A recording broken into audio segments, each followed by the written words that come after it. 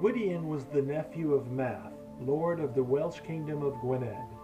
In order to help his brother Gilfaethwy sleep with Goewin, the young woman who was Math's footholder, Gwydion stirred up a quarrel between Math and Pryderi, which meant that the king went away to war.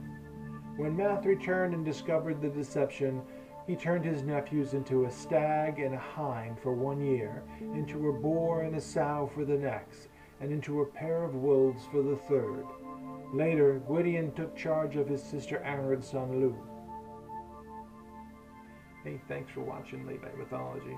Click subscribe. Check us out on the website.